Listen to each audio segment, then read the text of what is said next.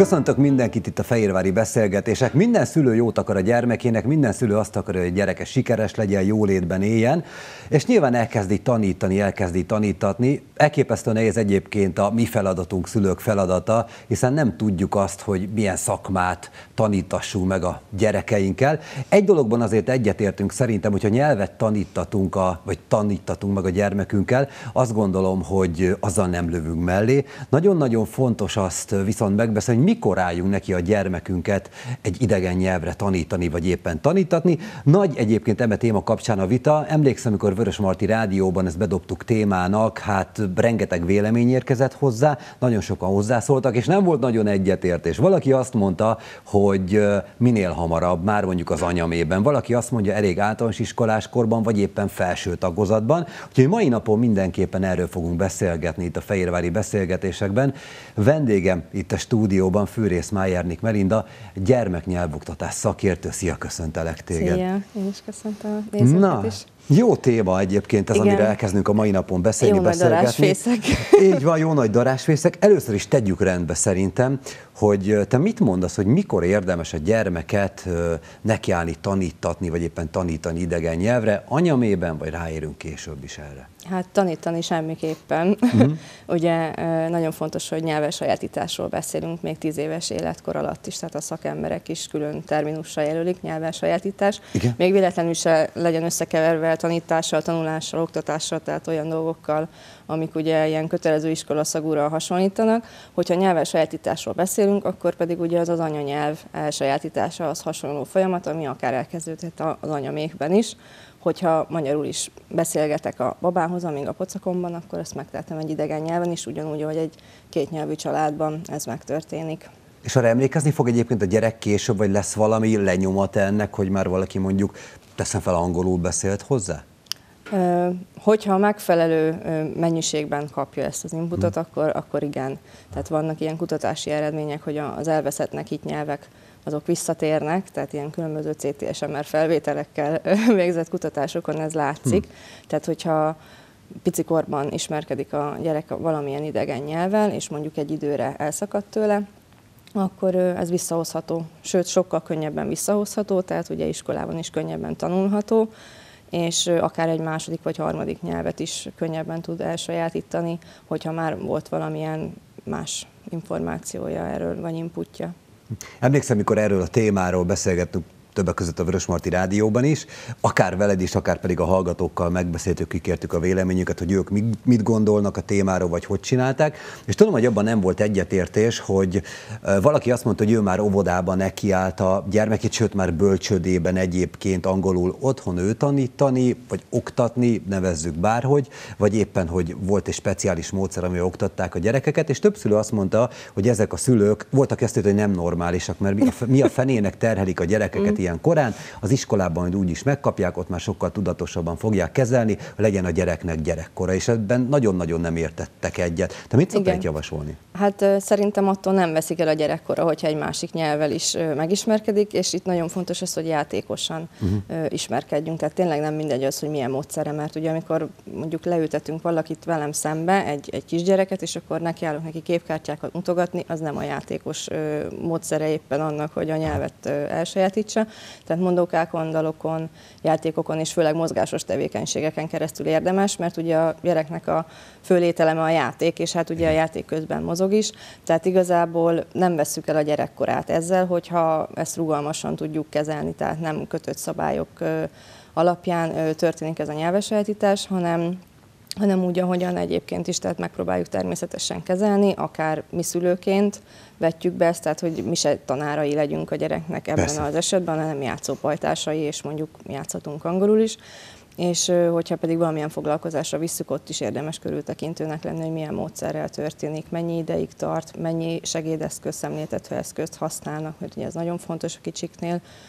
És hát nyilván ugye nem mindegy, hogy mikor kezdjük el iskolába, és persze el lehet kezdeni, és ugye szokták mondani, hogy majd behozza a lemaradást, Igen, meg, igen. meg ugye ráér akkor, ö, ott már tényleg tanulni fogja. Tehát már az óvodásoknál is látom azt a csoportos foglalkozásokon is, hogyha én mondjuk angolul beszélek, akkor így egymás között szokták mondani, hogy na most akkor mit mondott, és ez hogy van magyarul. Tehát ők már ugye rendszert keresnek uh-huh. benne, tehát megpróbálnak fordítani, mert már van egy ö, magyar nyelvből vett mintájuk, ami alapján ők ugye szabályokat alkotnak, és ugyanez ugye már az iskolásoknál is megvan. Tehát ott tényleg valóban tanulásról van szó, egyre kevesebb idő jut arra, hogy játszanak, mondókázzanak, daloljanak, ott már ugye jön a szóbeli feleltetés, a nyelvtani a kötelező szabályok, szaga van akkor tehát a nagyon. kötelező Aha. szagú így van, és az már nem játék. Tehát, hogy igazából persze ott is megtanulhat, de az, amit kicsi korból visz, annak Igazából ott van előnye, hogy egy, egy pozitív attitűd alakul ki a, a nyelvvel kapcsolatban. Tehát, hogy ez neki egy élmény lesz, egy játék, amit anyával együtt vagy apával együtt átélhet, és, és akár később könnyebben is tanulhat nyelveket, akár könnyebben feleleveníti, vagy, vagy sokkal könnyebben tudja előhúzni például azokat a nyelvtani szerkezeteket, amit egy mondókából vagy egy dalból megtanult. Persze itt megint ugye mondhatjuk azt, hogy mi értelme van, hogy 20 mondókát el tud mondani angolul, de de igazából magyarul is így tanul meg. Tehát ugye az óvodában is mondókákat, dalokat tanítanak nekik, és ugyanezen Persze. az elven Persze. ö, ismeri fel a szabályokat, amit utána magának át tud alakítani. A másik, amit bejön kérdésként, vagy bejöhet kérdésként egy szülőtől, sokan mondhatják azt, de nekem arra nincs időm, hogy én még angolul beszéljek a gyereknek, mert a rengeteg munka, házi munka, egy, kettő, arra lennék kíváncsi, hogy hány szülő tud mondjuk úgy angolul, hogy mondjuk valamilyen tudást, akár mondóka vagy játék szinten is át tudjon adni a gyereknek, mert persze könnyűnek tűnik az, hogy játék közben angolul, vagy angolul, mit tudom, bujócskázunk, és közben angolul beszélek, de azért kell Nem egyszerű. Igen, Nem- igen nem de, de nem egyszerű. egyszerű, és akinek van nyelvtudása, annak sem feltétlen Nem, egyszerű ez a bizony. dolog, mert, mert ez mondjuk az általában tanított angol nyelvhez képest szerintem egy kicsikét eltérő, hogy az Hát ember, vagy az nagyon magas szint, vagy magasabb szint kell, hogy az ember tényleg így, így ki tudjon szabadulni a megszokott mondjuk témákban, amiket tanítanak, az a környezetvédelem, a különböző EU-s dolgok, ez sokkal játékosabb és felszabadult Igen. dolog, és ez szerintem még nagyobb nyelvtudás, és szülők nagy része, én azt gondolom, ennyire az angol nyelvvel, vegyük az angolt, nincs képbe. Nincs. Tehát, hogyha valaki mondjuk felsőfokú szinten beszél, vagy középfokú szinten beszél, az ugye azt tudja azt, amire mondjuk fölkészítették. Érettségénél ugyanez, ha mondjuk tud a munkahelyen logisztikába bármilyen anyagot megrendelni, vagy bármilyen projektet lezárni, elindítani, az nem feltétlenül jelenti azt tényleg, hogy le tud ülni a gyerekével, vagy akár bujócskázni, vagy bármit játszani, úgyhogy fejleszteni kell magát mindenképpen. Tehát ugye ez igazából azoknak az anyukáknak, akik otthon maradnak ugye a kicsikkel, nekik is egy ilyen jó agymozgató tevékenység, hogy ne szakadjanak ki, vagy ne felejtődjön el, de ez, ez, ez, ez valóban csak úgy működik, hogyha a szülő is leül, és ugyanúgy, hogy magyarul megtanul egy mondókát, ha éppen nem tudja, mert a gyerek arra kíváncsi, vagy mondjuk tanulta az óvodába, és anya nem tudja, valahol meg kell nézni, ennek is utána kell nézni. Ez egy külön ilyen dajka nyelvet jelöl tulajdonképpen hogy mi az, amit használunk a, a gyerekekkel, akár mondókák, dalok, vagy, vagy játékok ö, során, vagy akár csak simán végig kísérni egy evést, hogy nyam nyam, hami hami, Igen. stb. stb. Tehát ugye ennek mind külön nyelvezete van angolul is. Persze. És Igen. ez ugye kétnyelvű környezetet kíván, hogyha valaki ezeket így szeretné használni, ö, és ennek utána kell járni valóban. Mert hogy a szótárak közül is nagyon kevésben van bent, tehát hogy itt, itt anyanyelvi szintű ismeretek érdemesek, hogyha ilyeneket szeretnénk használni. Persze ennélkül is lehet, tehát hogy nem kell akadémiai angol tudás feltétlenül azért, vagy tökéletes kiejtés, ugye, amit szoktak még a szülők mondogatni, ahhoz, hogy valaki ugye beszéljen a gyerekével, tehát ilyen alapdolgokat is lehet, hogy mondjuk az állatokat kiültetjük, és akkor azokat beszélgetjük végig, tehát hogy ez, ez azért Persze. egyszerűbb. Tehát a könnyebbik oldalán is meg lehet fogni a kezdésnél a, a történetet. Mesecsatornák kapcsán mi újság van hallani legendákat arról, hogy gyerek nézte a mesecsatornát angolul, és akkor nem tudom, iskolás korára tök jól megtanult angolul beszélni. Ez létezhet, működhet, anélkül, hogy a szülő mondjuk nem foglalkozik Ö, vele. Én ebbe kevésbé hiszek. Ö, Azért kérdeztem, mert én is kételkedem ebben. Igen. Ö, Lehet, hogy azokat a bizonyos meséket, ö, vagy dalokat, amiket úgy mondjuk napi szinten néz, vagy két-három naponta ugye előjön, azokat lehetséges, hogy ő Mhm. ismeri és végig tudja mondani, de nem biztos, hogy interakcióban is tudja használni. Tehát például ugye magyarul is nem akkor tanul meg, ha leültetem a tévé elé és végignézetek vele egy mesét, hanem akkor, hogyha én is beszélgetek vele. Tehát ennek akkor van értelme, hogyha megnézed mondjuk egy mesét vagy egy dalt, és én, mint szülő, kérek erről visszacsatolást. Tehát akár egy kérdés-válasz formában, vagy akár úgy, hogy megállítom időközben a mesét, és akkor belekérdezek, hogy most milyen ruha volt rajta, vagy ez melyik szereplő, mit csinált, mi történt, és akkor utána indítom el újra, mondjuk egy ilyen 5-10 percenként, hogyha egy hosszabb meséről van szó, azért, hogy lássam, hogy mit értett meg belőle. Én mondjuk ebben a, a részben, hogy ettől ő megtanul, ebben nem, nem hiszek feltétlenül, mert, mert ahhoz kell az, hogy valakivel ezt a nyelvet használni tudja, és visszacsatolást is kapjon, tehát beszéljen, ne csak passzívan hallja. Hm. Tehát akkor a lényeg az azt mondod, hogy már az anyanyemében is érdemes a gyermekhez beszélni angolul, illetve már tényleg bölcsődés meg óvodás korban játék közben, vagy otthoni cselekedet közben tényleg játékosan szintén angolul beszélni hozzá, és tényleg hogy úgy fogja fel ezt az egészet, mint egy játék, és nem kötelező, egyfajta viccként is, vagy örömforrásként is, hogy ilyen anya vagy apa így is beszél hozzám, és milyen jó, és így nagy valószínűséggel meg is fogja szeretni, és az iskolában iskolában sokkal könnyebb Igen, dolga neki lesz egyrészt neki. ez lesz természetes, Igen. hogy van egy másik nyelv is, tehát nem mindenki ugyanazt a nyelvet Igen. beszéli.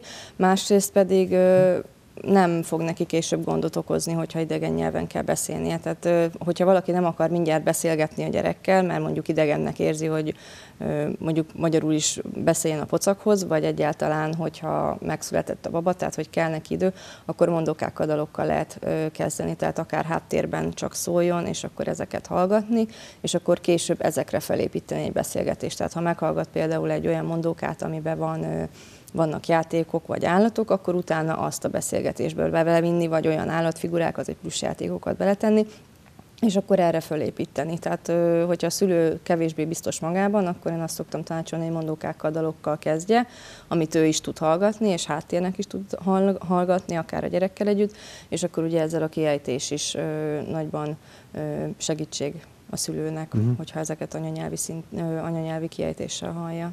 Nagyon sokszor hallani azt, hogy a magyar iskolákban lévő idegen tanítási módszerek nem olyan jók, csomó mindent megfogalmaznak, kritikákat, dicséreteket ritkán hallani erről. Te mit gondolsz egyébként erről, hogy a általános iskolákban, mondjuk nézzük még a, tényleg a nagyon gyerekeket, az alsó ö, évfolyamokat, ott milyen, hogy milyen úton, módon tanítak? Hatékony lehetne, jobb is, mi az, ami jó, mi az, ami nem jó, te hogy látod? Az a baj, hogy ugye felülről nagyon le van szabályozva ez az mm. egész dolog, hogy milyen könyvet választhat Persze. a pedagógus, milyen tanmenettel, heti hány órában, hova kell eljutnia, és így tovább, és nem a gyerek van a középpontban. Tehát nem tud igazából egy 15-20 fős osztálynak úgy oktatni, hogy az mindenkinek megfelelő legyen. Tehát vagy egy alsó szintet lő be a pedagógus, vagy egy felső szintet, ugye akkor ugye aki alul van, az nem biztos, hogy fel tud uh-huh. zárkózni egy nagyobb tempóhoz, tehát igazából itt nagyon nehéz a legnagyobb gond szerintem az ö, egyébként, hogy ö, pont hátulról kezdik. Tehát ugye az egész beszédtanulási folyamatnak ugye az a lényege, hogy először csak hallja. Tehát Igen. ugyanúgy, mint az anyanyelvét is, azt is mondjuk hallgatja egy-két éves koráig, utána kezd el megszólalni, majd aztán olvasás, írás. És akkor ehhez képest nagyon sok hm. első osztályban már azt látjuk, meg, meg azt kéri számon a tanmenet is, hogy már év végére angolul is írjon a gyerek, mikor épp, hogy megtanult mondjuk persze, magyarul. Persze. Tehát pont fordítva indul ez az egész történet, és nagyon kevés esetben jut arra idő, hogy mondókákkal, dalokkal fedeztessük fel azokat a nyelvszani szabályokat esetleg, vagy meséket, amiket mondjuk drillezve megtanít a, a pedagógus ilyen frontális osztálymunkában. Külföldön egyébként hallani, vagy külföldi emberek, gyerekek kapcsán, például a németek, illetve más nemzetséghez tartozók, hogy ők angolul nagyon-nagyon jól beszélnek, tényleg már nagyon fiatal korukban. Ez miért van ott más az oktatás, vagy minek köszönhető ez, hogy ők mondjuk jobbak ebben?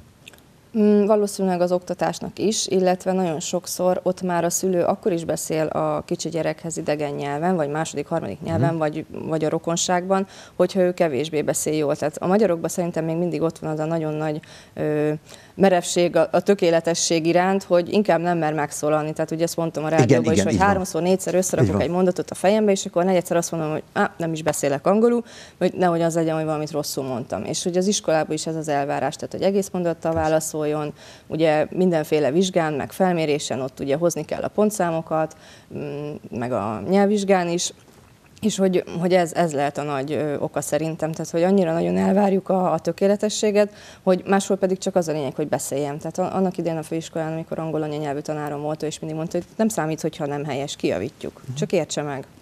És ugye a, a kicsi gyereknél is ugyanez, tehát hogy ő neki ugye az a célja, ha egy idegen nyelven is beszél, hogy megértesse magát. Uh-huh. Így van.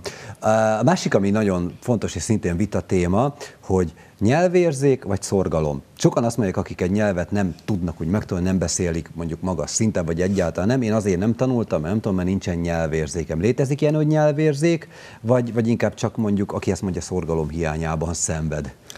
Megosztanak itt is Aha. egyébként a vélemények, hogy most létezik vagy nem létezik.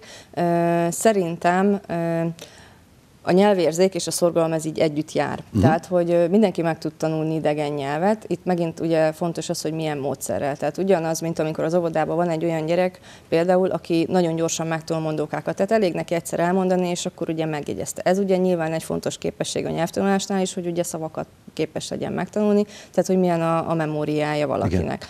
Aztán ugye, ugye ez a nyelvérzéknek ilyen több összetevős tényezője, tehát ez így több dologból is áll össze, mint képesség. Aztán ugye nagyon sokat számít például az is, hogy hogyan ö, sajátít el. Tehát ugye vannak vizuális típusok, akinek látni kell bizonyos dolgokat, hogy meg tudja jegyezni valakinek mondjuk mozgás közben sokkal könnyebb, tehát föllemászkál, miközben tanul, vagy leírja magának, tehát hogy, vagy hallás után, ezek mind-mind összetett dolgok, és hogyha megtalálja azt a típusú tanulási formát, ami neki mondjuk jobban fekszik, akkor szorgalommal persze ez össze párosítva elsajátítható egy nyelv. Tehát nyilván ugye nem mindegy, hogy mennyi idő alatt, tehát van, aki könnyebben tanul, van, aki kevésbé, és ez, ez, ez valóban a nyelvérzéktől függ, ami viszont több képességnek az összetevője, tehát az, hogy mhm. mondjuk milyen a memóriája egyáltalán, akár magyarul is, és akkor e, ezekből áll össze, mhm. így össze lehet gyúrni, és akkor azokat a képességeket kiválasztani, ami a legjobban neki ö, könnyebb, akkor az alapján Uh-huh. Ugye beköszönésben azt mondtam, hogy nyilván minden szülő jót akar a gyermekének, hogy jól éljen bőségben mindenféle szinten. Az egyik legjobb út erre, hogyha tényleg oktatjuk, neveljük a gyereket, és ezen belül is, hogyha valamilyen nyelvre oktatjuk a gyereket. Ez tényleg egy jó befektetés mondjuk a gyermek nyelvre okítása? Tehát ez megtérül azért majd a jövőben? Te is úgy látod egyébként többszörösen? Tehát meg lesz Én a, a saját gyerekeimen is látom, igen és azok, akik mondjuk már jártak hozzám babakorba, és aztán találkoztunk uh-huh. akár iskolában, tehát sokkal könnyebben, sokkal gördülékenyebben, rugalmasabban állnak hozzá. És hát ha azt veszük, hogy ugye az angol, vagy most az angol például világnyelv, de ha bármely nyelv, másik nyelvet választunk, ugye a, anélkül most már tulajdonképpen munkába se tud állni, tehát hogy uh-huh. vagy akár elmegy egy külföldi utazásra, és nem tud magának kérni egy pohár vizet, tehát ez egy olyan ö, tudás, ami, ami nagyon fontos ahhoz, hogy az életbe valóban boldogulni tudjon. Tehát, hogyha én választanék, akkor én azt mondom, hogy a, a sport az egyik, a másik uh-huh. pedig a nyelv. Én legalábbis a két gyerekemet ebbe a két irányba próbálom terelgetni. Na például pont ezt szeretném megkérdezni, hogy akkor nézzünk tényleg egy példát a való életből, ezeket szeretem, hogy nálatok hogy, hogy működik ez a dolog, tehát hogy és mikortól okítottad, vagy így mutattad meg mondjuk az angol vagy a német nyelv szépségeit, vagy éppen nem feltétlen szépségeit a, a gyermekeit számára. Ez hogy van nálatok? A nagyobbik lányom ő négy éves, uh-huh. a kisfiam pedig másfél éves, és hát a lányommal kezdtem, már a pocakpomban hallgatta, tehát akkor még dolgoztam az iskolában, amikor vele kismama voltam, úgyhogy ő már ott hallotta. És akkor lepődtem meg igazából először, amikor ezeket a dalokat úgymond felismerte, tehát hm. mosolygott akár három-négy hónapos ha. korában, amikor ezeket újra ö, lejátszottam. Igazából itt tudatosan három-négy hónapos korában kezdtem el ezt az egész ö, angolos ö, történetet vele, ö, addig így kutakodtam utána, mert persze tanultam, de amikor az ember a saját gyerekén próbál úgymond kísérletezni, akkor más a történet. Teljesen. És, és próbáltam ennek a dolognak azért utána járni mindenféle külföldi egyetemeken, meg kétnyelvű kutatásokban, és aztán így vágtunk bele.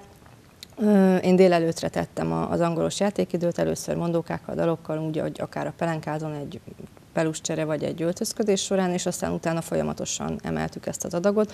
Most ott tartunk jelenleg, hogy négy éves, és szabadon használja, tehát néha mi is meglepődünk rajta, hogy ülünk a mesénél, vagy nézve valami mesekönyvet, és akkor oda szól mondjuk az apjának, hogy what color is it, daddy? Uh-huh. És úgy, hogy előtte például néztük a mesekönyvet. Hmm. Tehát, hogy ő ezt most már teljesen természetesen Egy ennyi idős gyerek, ez egy nagyon-nagyon szép teljesítmény, sőt, ugye hát sok, sok mondjuk általános iskola felső tagozas, tagozatostól, hogy megkérdezett tényleg azt, hogy például milyen színű. Mm, Tehát, igen. És ezt ő hirtelen szabadon elővette. Igen, és akkor hozzátartozik, hogy nem vittem azért túlzásba, tehát hogy ezt nem úgy kell elképzelni, hogy nálunk aztán most minden két nyelven van, és én akkor Persze. most ilyen anyuka vagyok, hogy csak angolul beszélek a gyerekkel, tehát a magyar nekem is fontos, tehát hogy magyar dalokat, mondókákat, meséket is hall, de a délelőttök azok angolul néztek ki. Most már ugye annyiban változott, hogy délelőtt toviba van, és akkor délután vagy a esti mese angol, vagy a fürdés angol, tehát nagyon sokszor most már ő is vált. Tehát vagy, hogy délelőtt most például beteg volt és itthon volt, és délelőtt mentünk ugye az orvoshoz, és egész délelőtt ő angolul beszél, de még az orvosi rendelőbe is. Hoppá, úgy kell szólni, hogy Álljál már le, álljál már le, Magyarországon vagyunk. Tehát, hogy ő neki ez, ez nem tűnik fel, hogy az most más nyelven van. Érdekes. És, és a, a kisfiamhoz is ugyanúgy ő, ő is beszél angolul, tehát van, hogy angolul mutogatja neki a, a mesekönyvben a dolgokat, és hát ugye ő ezt kapja szintén. Egyrészt jön velem a foglalkozásokra, ahol a többi babával együtt is van, meg hát otthon tőlem is kapja az angol nyelvű Környezet ez mit szól? Tehát amikor, amikor mondjuk lát egy ilyen családi történetet, ott vagytok az orvosi rendelőben, vegyük ezt az esetet, a gyerek angolul beszél, nyilván ismernek Nem benneteket. mert szólni senki. Sokan, hogy, hogy akkor most, most mi van, mi történik itt, tehát milyen reakciói vannak az embernek, meg gondolom van ilyen is, meg olyan fölkezd mondja, milyen jól csinál, de biztos van olyan is, aki azt mondja, hogy miért kell ilyen maximalistának lenni már gyermeket ilyen kiskorában ezzel traktálni. Volt már ilyen is, meg olyan is. Volt nem? ilyen is, Aha. olyan is, igen. Kollégák részéről is, meg családtagok részéről is volt már olyan, aki ezt így megkérdőjezte, de alapvetően ezért támogatnak. Tehát ugye amikor például ott van a nagyszülő, és neki is spontán elkezd beszélni a gyerek angolul, vagy egy angol mondókat, ugye akkor szokták igazából látni, hogy ennek van értelme, mert ugye azt szokták mindig mondani, hogy mi értelme van egyáltalán. Uh-huh. Hát például ez, hogy teljesen spontán használja. Volt olyan, hogy odavitte az angol mesekönyvet a nagymamának a kislányom, és akkor mondta, hogy ebből olvas mama. Hmm. És akkor mondta mama, hogy de hát én nem tudok ebből olvasni. Mondja, miért vedd fel a szemüveged?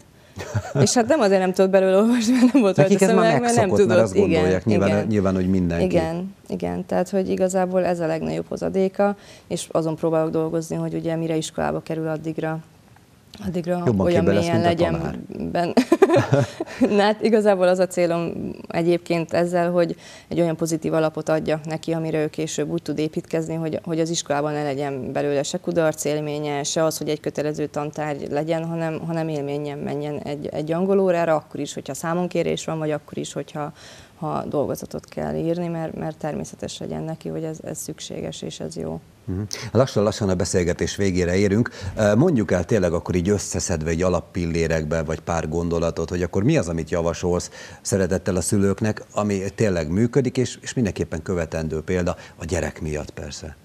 Én azt szoktam mindig mondani, hogy a szülő vagy egyedül, vagy ugye a házastársal beszélje meg, hogy egyáltalán mi a célja ezzel. Tehát, hogy mind a két fél kell hozzá, ahhoz ugye gyerekneveléshez egyéb más területeken is, hogy egyetértsenek benne, tehát, hogy közösen megbeszéljék, és ha ezt elkezdik, akkor következetesen tartsák magukat. Tehát, hogy azt szoktam mondani, hogy érdemes egy ilyen nyelvelsajátítási stratégiát kialakítani, hogy mit szeretnénk. Tehát, hogy bőven elég az, hogy mondjuk naponta 5 percet hallgatja a YouTube-on a dalokat, uh-huh. mert ezzel is egyébként meg lehet nagyon jól alapozni. Tehát, hogyha valaki nem szeret szeretne beszélni, vagy nem nincs rá több ideje, akkor ez is egy nagyon jó alap ahhoz, hogy ugye ezek nagyon gyorsan rögzülnek egyébként a gyerekbe így is a, az információk, és hogyha ezen kívül többet szeretne, akkor ugye naponta 5-10 perc, vagy még esetleg valami játékos feladat, vagy bármi, amit hozzá lehet tenni, hogy hova szeretnék eljutni. Tehát, hogyha azt szeretném, hogy csak megértse, vagy beszélje is, vagy akár anyanyelvi szinten beszélje, tehát ez, ez mind attól függ, hogy ugye mennyi inputot fog kapni, hogy én mennyit beszélek hozzá az idegen nyelven,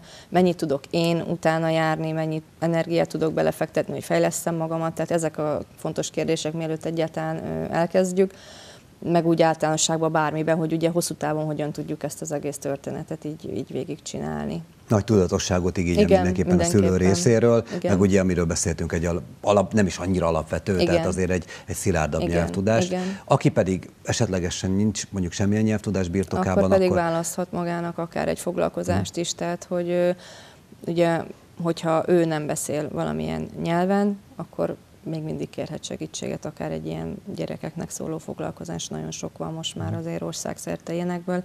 Érdemes körülnézni egy-egy bemutató órára elmenni, hogyha ha van lehetőségük hm. a pedagógus megnézni meg a módszertant egyáltalán, hogy hogyan történik ez a fejlesztés. Hát engem meggyőztél ennek hasznosságáról, meg szerintem a kedves nézőket, és én köszönöm szépen, hogy itt voltál én is velünk. köszönöm a lehetőséget. Önöknek is köszönöm, hogy itt voltak velünk, tartsanak velünk legközelebb is itt a Fehérvári beszélgetésekben.